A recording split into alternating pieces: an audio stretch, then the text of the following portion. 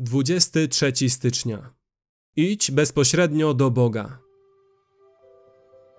Owego dnia w imieniu moim prosić będziecie, a nie mówię wam, że ja prosić będę Ojca za was, albowiem sam Ojciec miłuje was, dlatego że wyście mnie umiłowali i uwierzyli, że ja od Boga wyszedłem.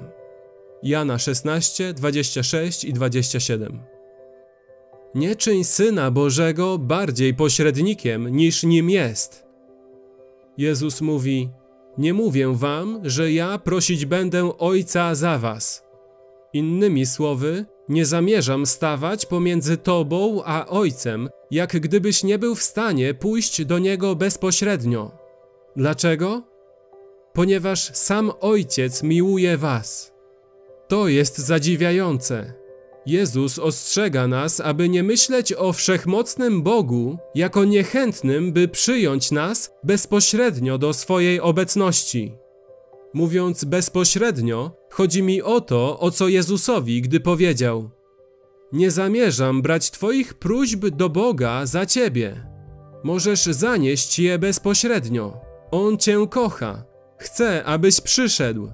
Nie jest na Ciebie zły jest to absolutnie prawdą, że żadna grzeszna istota ludzka nie ma innego dostępu do Ojca niż przez krew Jezusa. Hebrajczyków 10, 19 i 20. Wstawia się on za nami w tej chwili.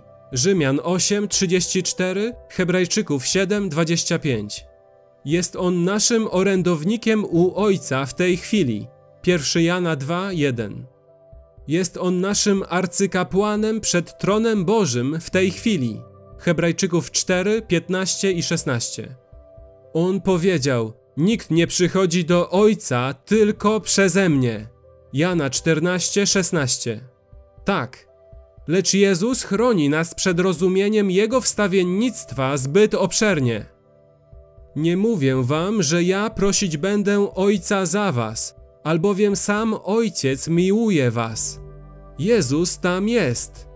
Zapewnia On zawsze obecne, wieczne, żywe świadectwo usunięcia gniewu Ojca od nas.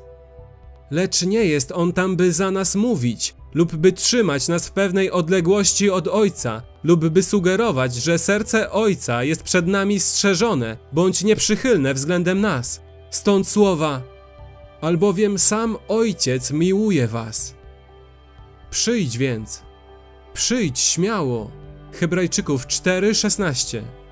Przyjdź z wyczekiwaniem. Przyjdź oczekując uśmiechu.